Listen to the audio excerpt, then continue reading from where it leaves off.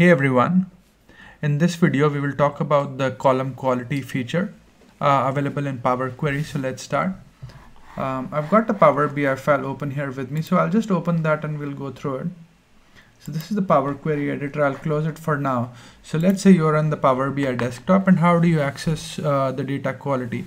So on the Home tab, you click on Transform Data and then you click on Transform Data again and it opens the Power Query editor for you. Now with the Power Query editor open, you go to the View tab and you can see it showing us the data and then you can click on column quality. And when you click on column quality, it, you can see it is giving you the valid, like 100% of the rows are valid. There are no errors at the moment and there are no nulls. So um, it, it gives, so if in case there are errors, it does reflect the errors. And then if there is any uh, empty or null values, it just show you that. And if you hover over this, it also shows so how many valid values because it's profiling only for 1000 values at the moment it's 1000 there are no errors and there is no like there's no empty value.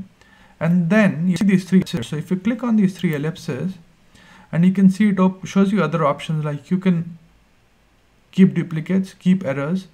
You can remove duplicates. You can remove empty values. You can remove errors.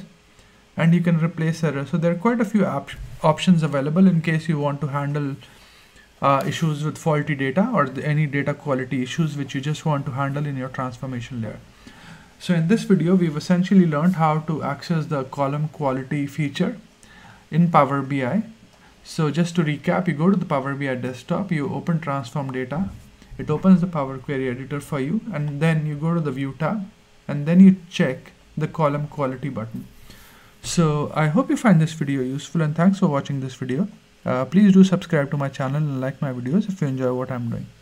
Uh, let me know if you would like me to take any specific topics. Cheers, bye.